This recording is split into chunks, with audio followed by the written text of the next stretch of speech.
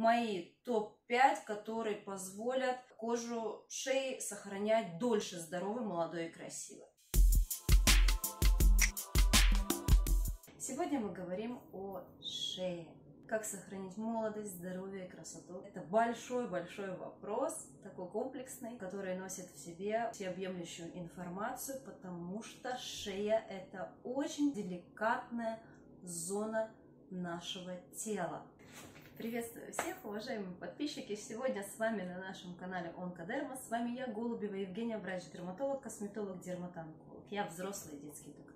Кожа шеи, она, конечно, очень ранимая, очень тонкая и очень тесно принимает участие во всех функциональных механизмах шеи, естественно, является защитной структурой, которая принимает на себя весь удар внешней среды, а это солнце, это загрязнение, это механическое сдавление, трение, все время мы что-то носим на шее, Шея сталкивается также с вирусами, грибами, бактериями, поэтому кожа шеи очень здорово страдает.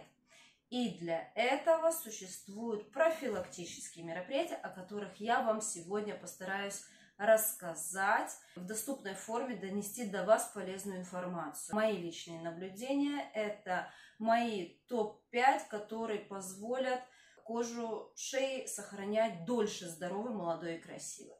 И номер один – это правильное здоровое питание и образ жизни. Ни для кого не секрет, мы состоим из белков, жиров, углеводов, микроэлементов, витаминов. И все это мы в достаточной мере должны получать с продуктами питания. Пожалуйста, подходите с умом к выбору того, что вы в себя потребляете. Следите за своей массой тела, потому что ожирение нам дает очень много нежелательных явлений, как для гормональной сферы, так и э, страдает обмен веществ, а нарушение метаболизма и гормональные дисфункции – это все то, что очень негативно складывается на качестве нашей кожи, появляются сосуды, пигментные пятна, кожа быстрее стареет, ломаются коллагеновые эластиновые волокна – а еще внешние воздействия на кожу шеи, и все, беда. Поэтому питание имеет огромную роль, имеет большое значение. Плюс при ожирении лишние локальные жировые отложения очень любят скапливаться в области шеи. Это мы ведем речь о втором подбородке, и все это тоже не добавляет красоты в этой зоне. Следите, пожалуйста, за своим питанием. О вредных привычках много говорить не буду. Курить бросаем, с алкоголем не злоупотребляем. Все это на наше здоровье, на качество кожи очень свой немаловажный отпечаток накладывает. И здоровый сон – это тоже то, что позволяет нам сохранять свою молодость, здоровье, быть в балансе, поэтому ночью надо спать. Ко второму немаловажному аспекту профилактики э, здоровой кожи шеи я отношу физическую активность в любом ее проявлении в зависимости от того, какая физическая нагрузка подходит вам. Шея – это часть нашего осевого скелета. Там есть позвоночник, там есть скелетные мышцы, поэтому движение – это жизнь. И, соответственно, нормальные, здоровые физические нагрузки показаны практически каждому. А шея при любых физических упражнениях принимает непосредственно участие в комплексе упражнений. И Наиболее полезными я для себя нахожу это йога, плавание и фитнес дозированный. Больше ходить, больше дышать свежим воздухом. Поэтому следите, пожалуйста, за своей физической активностью, потому что нормальный тонус мышц шеи, здоровый ровный позвоночник, в том числе шейном отделе, все это будет способствовать тому, что кожа шеи будет выглядеть более подтянутой, она будет в тонусе и будет гармонично жить с вами всю вашу оставшуюся жизнь. Естественно, физическая активность позволит вам избежать нежелательных жировых отложений, а шея такая зона, где существуют жировые ловушки, и жировые отложения очень любят быть в этой зоне. Поэтому берегите себя, занимайтесь физкультурой, занимайтесь любыми видами активности, которые вам позволены. Ищите грамотных инструкторов и тренеров, которые будут курировать вас.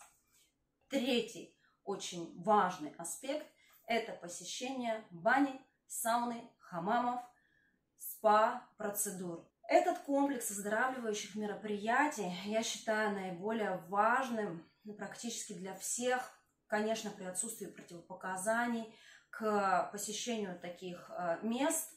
И что это нам дает? А дает нам очень многое. Во-первых, улучшает трофику тканей, улучшает микроциркуляцию, позволяет вывести ненужные токсины из организма, позволяет нашей коже дышать. При посещении бани и сауны мы добиваемся прогрева кожи до нужной температуры, которая запускает процессы неоколлагеногенеза, обновления клеточек кожи и, соответственно, способствует оздоровлению и омоложению кожи. Также при посещении бани, сауны вы самостоятельно можете себе делать всевозможные уходовые процедуры, такие как скрабирование, да, чистки кожи, массажи, применение всевозможных масок, пилингов и, в общем, насколько фантазии у вас хватает.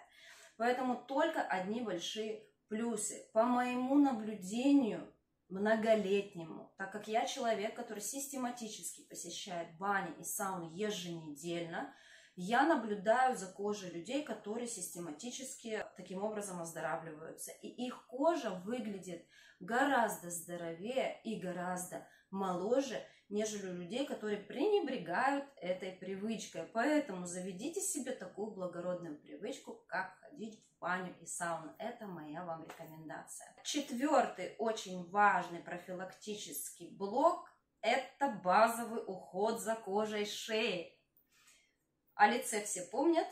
Очищение, тонизация, увлажнение или питание. Про шею почему-то забывают. Шея это то, что начинается от ключиц и пошли вверх до нижней челюсти. Вот это шея. Из этой зоны обязательно нужен такой же базовый уход. И плюс ко всему этому адекватная фотопротекция.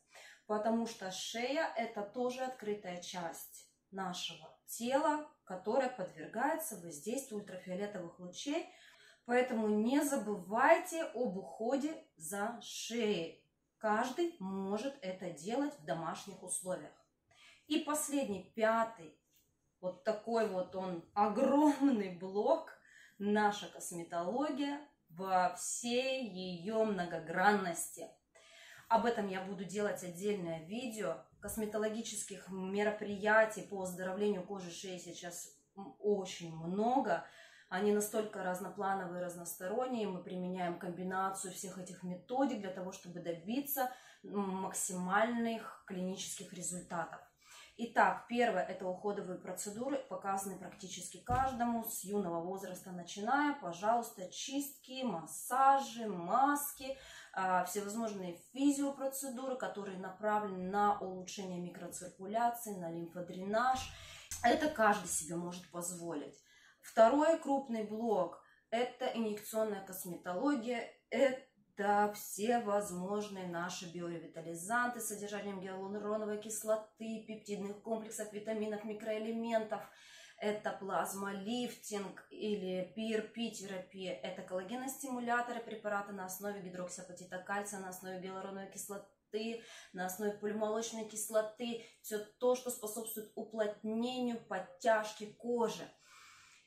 Аппаратная косметология – это очень большой тоже вот такой раздел, который включает в себя все возможные лазерные шлифовки, IPL, системы процедур фотоомоложения, сосудистые лазеры, лазеры по пигменту, сфокусированный ультразвук, радиоволновые методы коррекции – возрастных изменений кожи и так далее. Аппаратная косметология очень богата сегодня. И в сочетании с вышеуказанными косметологическими процедурами, конечно, мы добиваемся максимального результата. Все по индивидуальным показаниям, все согласно вашему типу, возрасту и проблеме и так далее. Об этом посмотрите, дальше будет видео, обязательно я его сделаю вам более расширенный и развернутый ответ дам по косметологическим методам омоложения кожи. Последний этап лечения выраженных изменений кожи шеи – это, конечно, пластическая хирургия, которая тоже очень виртуозно сейчас может помогать пациентам с а, проблемами там, провисания кожи, излишними какими-то там жировыми отложениями. В общем, хирургические методы коррекции и подтяжки кожи сегодня существуют. Вот так, в общем, я вам рассказала о своих пяти основных мероприятиях, которые позволят кожу шеи поддерживать долго в молодом и здоровом состоянии. Если у вас есть какие-то вопросы, пожалуйста, оставляйте в комментариях под этим видео. Я надеюсь, вы что-то почерпнете полезное конкретно для себя. Можете со мной поспорить. Я вам желаю молодости, красоты, здоровья и процветания. Берегите кожу, шею с молоду и занимайтесь всеми профилактическими мероприятиями, которые позволят выглядеть вам молодо и красиво всю жизнь. До скорой встречи в новых видео. С вами была Голубева Евгения. Всем пока-пока!